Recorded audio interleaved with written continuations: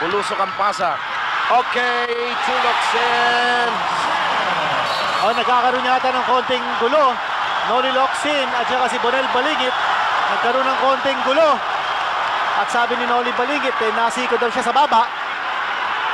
Mukhang hinamon ni Noli Locsin ito si Bonel Balingit.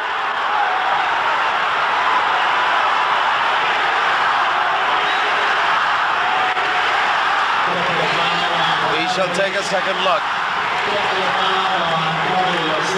Nagkaroon ng double technical foul. Panuuri po natin. Then after the shot, Yung yun, tinapon ng bola ni Bonel Balingit. Nagkatitigan yung dalawa.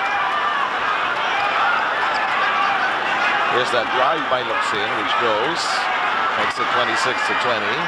Locsin, ayun, nasundan ng cameraman natin. Kamuntik na. He's on, applies the brakes, outside to Bal David.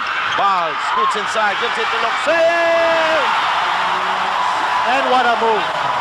Again, Bal David. Well, ito si Bal David has uh, put pace in the tempo of play of Ginebra San Miguel.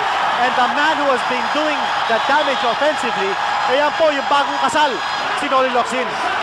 And second straight timeout taken by Derek Pumaren. Why not? The tank is on a rampage. Skills, no?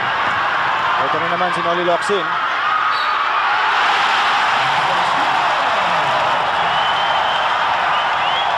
He is playing with a passion, with ah. fire.